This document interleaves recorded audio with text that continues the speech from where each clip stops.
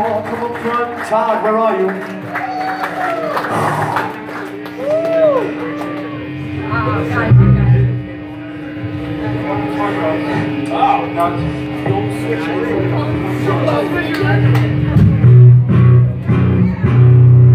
I was lucky enough to play in a band called Warzone when I was like fucking 22 years old. When I when I first got into that band, was in the band. I got to play a few shows with him as a 22 year old kid. He told me I was a good player. We're still doing this shit. And we just can't help it, so we want to fucking treat you guys. I also got Jason here from Warzone. We're only missing Todd the Kid because he lives in Arizona.